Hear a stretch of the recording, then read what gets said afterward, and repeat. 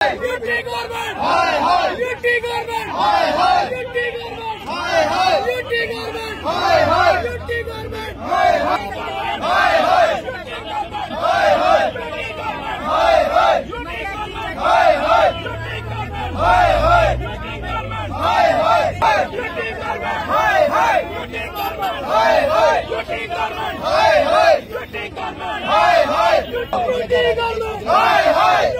Hey,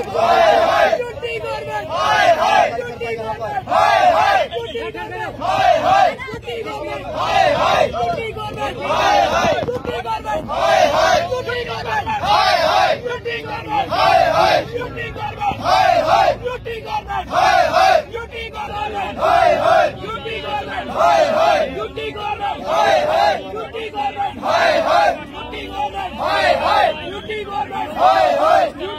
हिंदुओं को सुरक्षा दो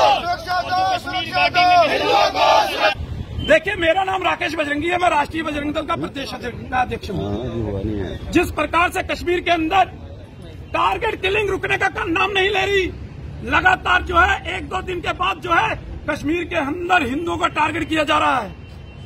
हिंदुओं को कश, कश्मीर को हिंदू वहीन करने की कोशिश 1990 जैसे फिर से दिन दोहराने की कोशिश जो है ये आतंकवादी कर रहे हैं।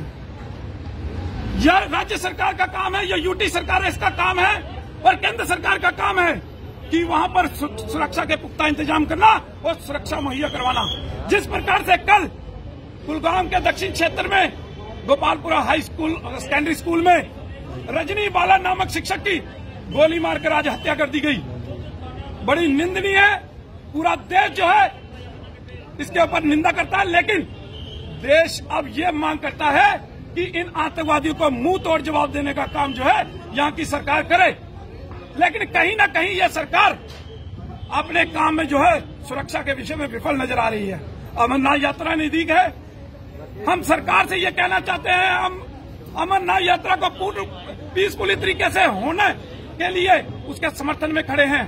अगर अमरनाथ यात्रा नहीं होती तो हम सरकार की ईंट से ईंट बजाने से पीछे नहीं हटते।